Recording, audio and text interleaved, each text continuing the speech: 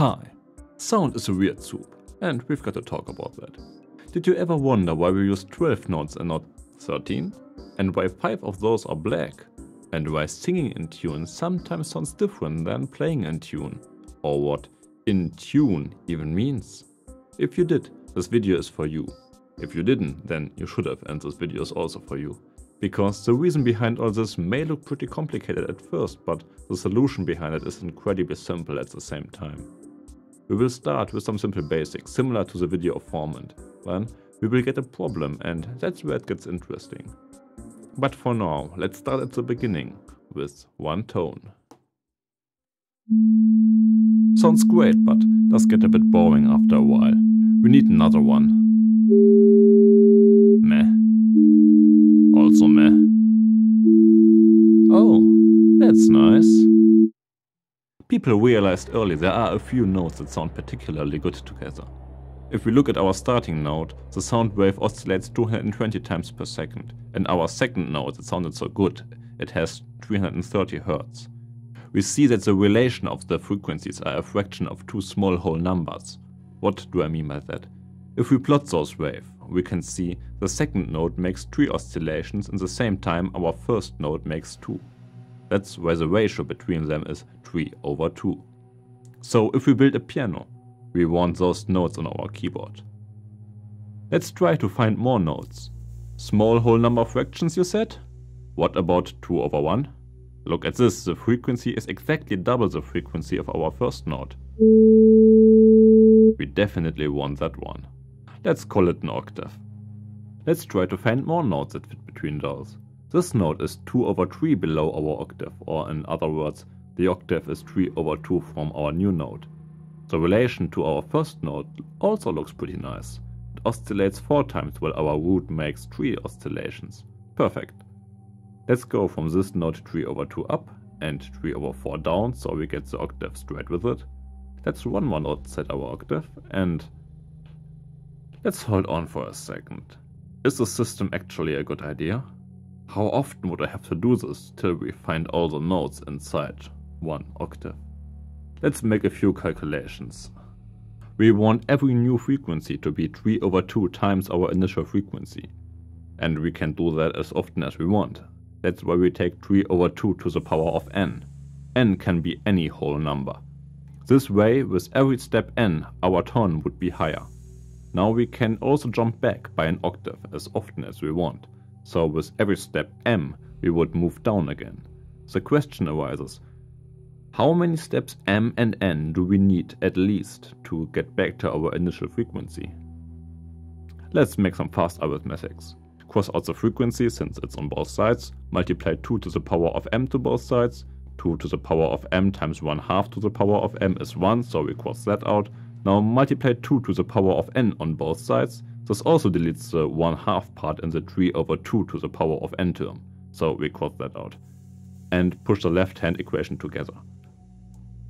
If we can find numbers for m and n where both those terms are equal, we can calculate how many notes we need inside one full octave. But there's a problem. 2 to the power of any number will always be an even number, but 3 to the power of any number will always be an odd number, and an even number will never be the same as an odd number. This means we'll get infinitely many keys in one octave if we will continue with the system. So we better stop this, but there is still a bit room, so let's find at least a few other tones that could fit there. What about 3 over 5? It's also a small numbers fraction. And let's add a last batch of 3 over 2 notes so that every note has at least one note that is 3 over 2 in any direction away. What you see in front of you is the frequency layout for a just intonated piano. We call the notes A, B, C, D, E, F, G, and then we add the first octave and we start again from A. If we wanted, we can play great pieces with such a piano, and for many decades people did. Well, now comes the but. If it's not only you and your piano, but there's also a singer with you, it may happen that the piece you wrote doesn't fit their voice. Let me extend the keys to two full octaves for a second Every note within the upper octave is just double the frequency of the note in the lower one. Let's say you want your singer to sing these three notes. Sounds great, but she doesn't like to sing that low. Maybe up here? Sounds still great, but she doesn't want to sing that high either. Okay, maybe just a little bit up. Let's play it here. Oh, that's annoying. The relation between those notes is different. This one has a 32 over 27 relation, which is not the 6 over 5 we had before. And that one has 64 over 45, which also isn't 3 over 2. Because we didn't finish our initial pattern course, well, we couldn't, it would have been infinitely many keys. So our keyboard isn't symmetrical now. But somewhere had to be a break in the system. So what now? I guess we need a new way to decide which frequencies we want on our keyboard. Let's try to construct a better formula. We want to keep the octaves? No question. Therefore, we need to be able to create new frequencies as a power of 2. Now we want to be able to transpose easily, so the singers can sing in every key they like and it will always have the same relations between the notes. If we divide our n by a whole number k, we get this property. Fast proof. If we move m number of keys higher than our initial key n, we are at key n plus m, so we get this relation between our frequencies. When we press both of those keys n plus m and n. Let's make some fast arithmetics. And we see that the initial key n does not matter for the relation. That's great for a start, because now we know that we can easily transpose. Also this k gives us the numbers of notes in each octave, since m tells us how many notes above our initial key we are, this means m equals 0 for our starting key. Now 2 to the power of 0 equals 1, and if our m is equal to k, we get k divided by k, that's 1, and 2 to the power of 1 is 2. So whatever note we start on, we will always find the octave at k number of keys. Perfect. Since we've got a great formula now, we need to decide how many keys we want. For example, we could use 7 keys, like with our just intonation example, or 8 keys, or 10 keys, or 20 keys, whatever we want. Just plug in the k and we can calculate the frequency for each key. Well, history already told us the just intonation keyboard sounded pretty good, so we would like it if our equally spaced keyboard is able to replicate it pretty closely. Therefore, we will need some kind of measurement that tells us how close our new transposable keyboard will be to the just intonation keyboard. That's what the metric cents is for. You may have heard of it in the context when someone says, you are 10 cents out of tune. Cents divide our octave in a bunch of small steps. They follow this formula. C equals 1200 times log base 2 of frequency 2 over frequency 1 if our frequencies are identical, f1 is equal to f2 and our log equals 0. If we span an octave, the log base 2 of 2 is equal to 1 and we have 1200 cents. And by this definition, between every note from our new formula will be the same distance in cents. If we would decide on a 6 key keyboard, we have 1200 divided by 6 equals 200 cents between each note. If we decide on a 10 key keyboard, there are 120 cents between each note and so on. And that's no matter in which octave we are. Don't give this formula too much thought, it's just a simple way to describe how far away two notes are on a log scale, as we would always have to work with ratios.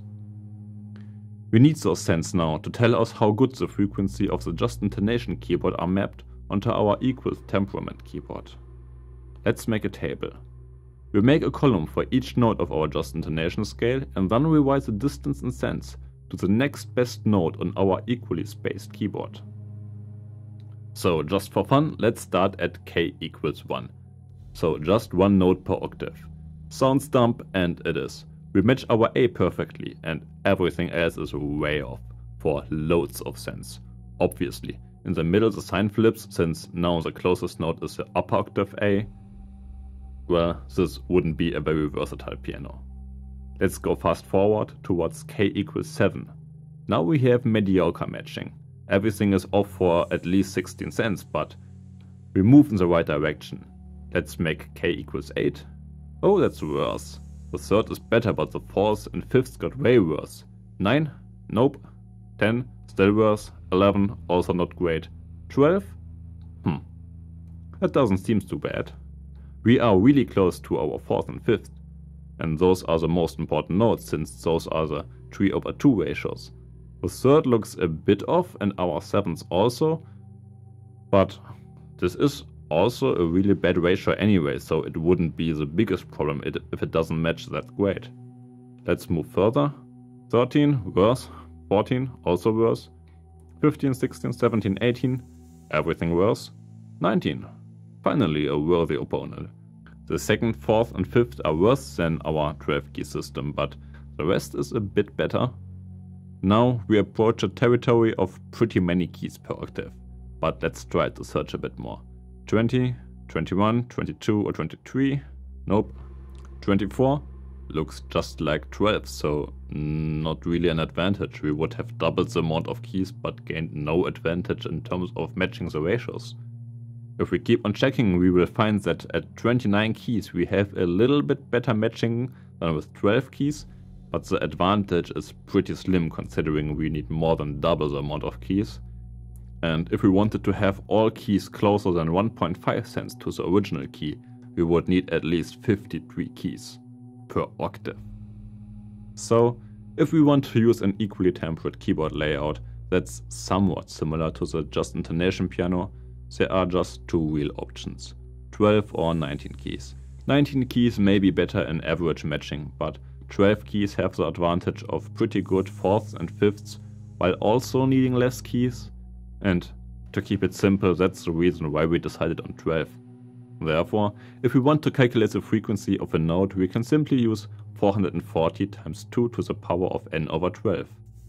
n is 0 at our central frequency, negative if we want to move down, or positive if we want to move up. Why did we decide on 440 Hz to be the central frequency? Well, technically the precise frequency doesn't matter for our formula, as long as every instrument tunes by the same frequency, but there are historic reasons why we decided on this specific number. The maths didn't care about it though. The formula would have worked the same if we used 441 Hz. Now our 7 keys we got from our Just Intonation keyboard will be known as the white keys. The 5 new notes that came with the equal temperament will be the black keys, and if we want to play a bit higher, we can now start at our second note, which previously wasn't even there. And we can still play every song we want with the same relationship between each note just a bit higher. And it will still sound great. For the sake of completeness, here is what a 13-tet keyboard would look like. As you can see, except for one note, we are always worse off. You may ask, is my keyboard now in tune? And I can answer you with utmost confidence, I've got no clue. You should never forget. Every way to tune an instrument is just one way to give you the possibility to play notes that sound good together. Some tunings may give you advantage in one point, some have advantages somewhere else, but there is no mathematical way to define what you like. Period. If you feel like perfect fifths and fourths are what you like most, then go ahead and make music with a tuning that perfectly incorporates them. Or you want some 7 over 4 ratios, tune your instrument to those. Who is gonna stop you? In case of versatility, the 12 tone equal temperament is the best compromise we've got. And if you decide to go an open jam session, I suggest you to use it. But in the end, perfectly in tune is just a matter of definition. So define your own. Till next time and keep your ears curious.